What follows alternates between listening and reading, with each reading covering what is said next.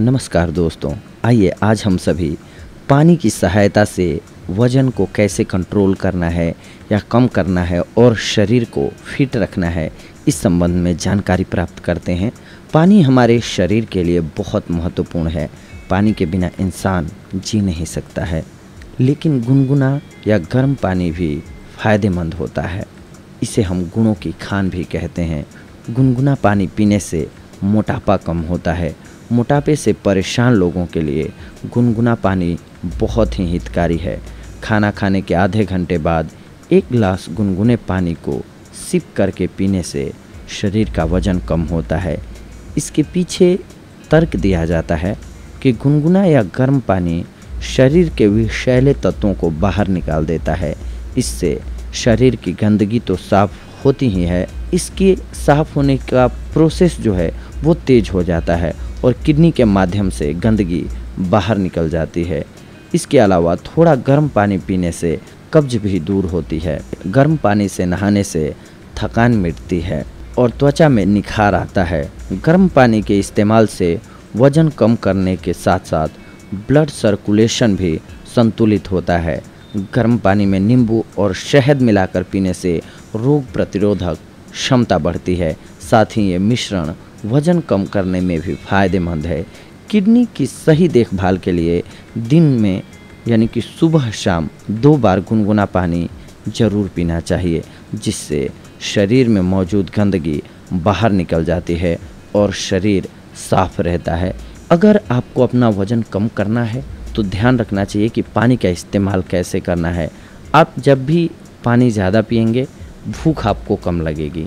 इस प्रकार से हर रोज़ आप कम कैलोरीज लेते जाएँगे और जब आप कम कैलोरीज लेंगे तो आपका वेट वैसे ही कम होता जाएगा।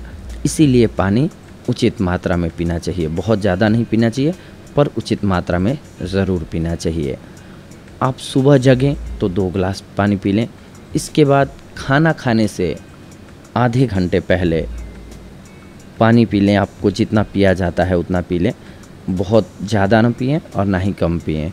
आपको ठीक ठाक आराम से कंफर्टेबली जितना पिया जा रहा है, उतना पानी पी लीजिए। इससे क्या होगा कि आपके पेट से गंदगी तो बाहर आ ही जाएगी।